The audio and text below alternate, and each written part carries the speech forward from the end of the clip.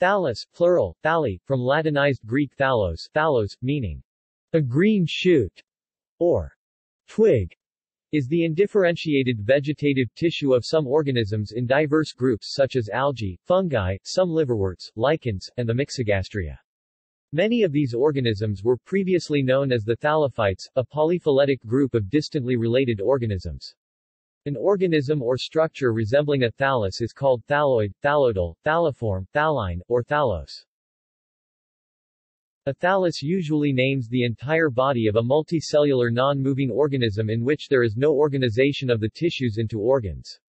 Even though thalli do not have organized and distinct parts leaves, roots, and stems as do the vascular plants, they may have analogous structures that resemble their vascular equivalents.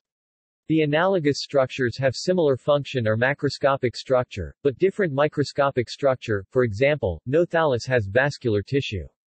In exceptional cases such as the Lemnoideae, where the structure of a vascular plant is in fact thallus-like, it is referred to as having a thalloid structure, or sometimes as a thalloid. Although a thallus is largely indifferentiated in terms of its anatomy, there can be visible differences and functional differences. A kelp, for example, may have its thallus divided into three regions. The parts of a kelp thallus include the holdfast, anchor, stipe, supports the blades, and the blades for photosynthesis. The thallus of a fungus is usually called a mycelium. The term thallus is also commonly used to refer to the vegetative body of a lichen. In seaweed, thallus is sometimes also called frond.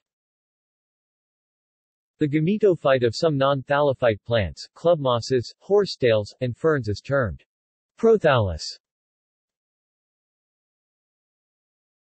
References